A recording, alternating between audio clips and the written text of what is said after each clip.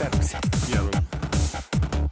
Zsolt, a mai alkalommal, ha te is benne vagy, akkor beszélgessünk arról, hogy milyen esetekben van szükség lokális szűrésre, kifejezetten mondjuk a konyhapultba elrejtve, vagy ott a konyha környékén, illetve melyik az az eset, amikor központi szűrésre van szükségünk?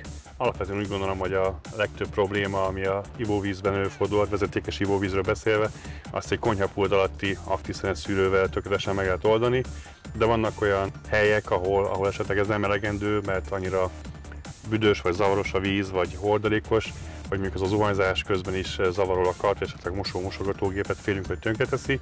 Ott érdemes elgondolkodni egy központi szűrő telepítésén, akár rögtön a vízora után, vízoraknába elférnek ezek a készülékek, és csak az azzal már a teljes házba lévő szennyeződést meg tudjuk fogni. Ha a szag is probléma, vagy esetleg a túlerős klór, akkor pedig ugyanúgy egy központi szűrőddel, mondjuk egy aktív szenes szűrővel már ezt a problémát is lehet kezelni.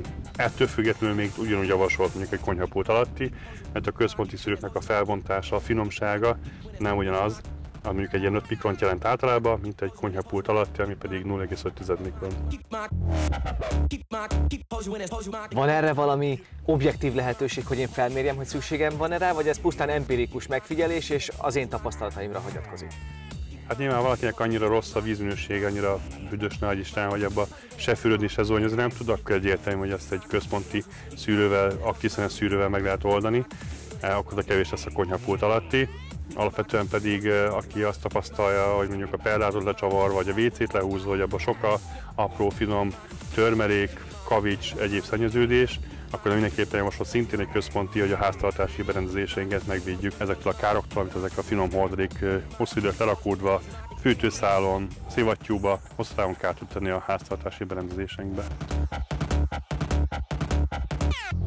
Arról több ízben beszélgettünk már, hogy a konyhapult alá szerelhető szűrőegység felhelyezése az utólag is viszonylag könnyű, de mi a helyzet a központi szűrőkkel? Itt mekkora méretekről beszélünk, mekkora helyigénye van egy ilyennek, fontos-e már előre a rendszer kialakításakor gondolkodnunk ezen, akár egy új építésű ház vagy lakás esetében, vagy ugye a már meglévő lakásunkba, házunkba is elhelyezhető?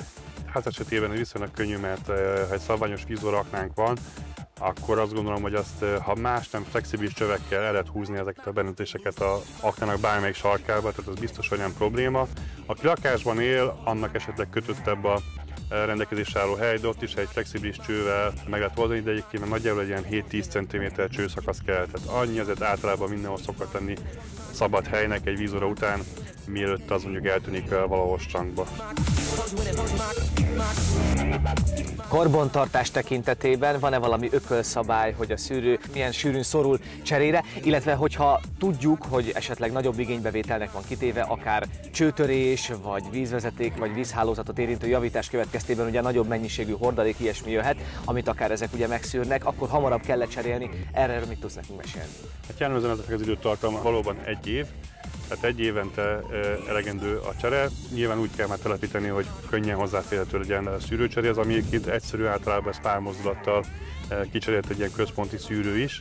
Ami az élettartamát illeti, általában azért ez jellemzően kibír egy évet, de hogy ott, ahol nagyon koszos a víz, sok benne a hordalék, rozsda, egyéb levegőszennyeződés, ott előfordulhat, hogy ezt az egyéves tartalmat nem tudja kiszolgálni, de azt gondolom, hogy azért ez, ez ritka. Ott, ahol meg tényleg előfordul, ott van, hogy egy előszűrőt is érdemes berakni, és mindjárt kettő szűrőt egymásra mondjuk egy 50 mikronost, ami a hordalékot megfogja, a nagyját, és az 5 mikron, ami már a finomabb szennyeződést megfogja, de ez főleg mondjuk kútvizeknél szokott jellemző lenni. Zsolt, nagyon szépen köszönöm, és legközelebb folytatjuk. Köszönöm, hogy megkerestetek. Önöknek pedig, hogyha további kérdéseik lennének, vagy információkra vágynak, akkor látogassanak el a www.primavis.hu oldalra, ahol szakértőnk segítségükre lesz.